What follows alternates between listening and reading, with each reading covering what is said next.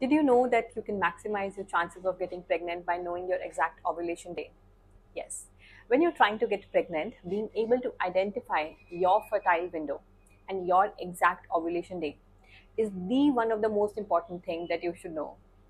So I would advise you to use an ovulation prediction kit to track your ovulation correctly.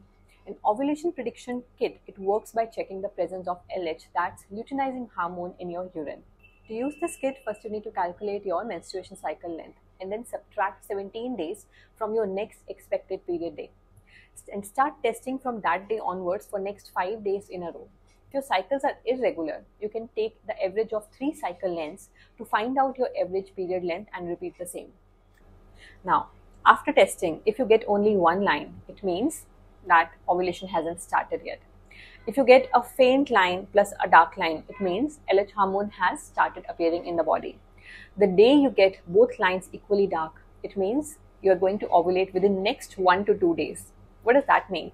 LH surge happens about 36 hours before you ovulate. Having relationship during the next 2 days can maximize your chances of pregnancy.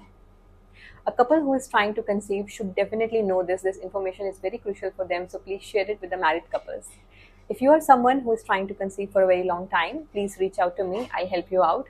Namaste, Yoga with Mahak.